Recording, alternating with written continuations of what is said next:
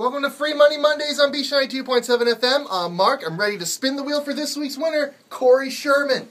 Now, I'm going to spin the wheel. If it lands on the cash, he wins the cash. Other, if it lands somewhere else, he wins another great prize. So let's spin the wheel.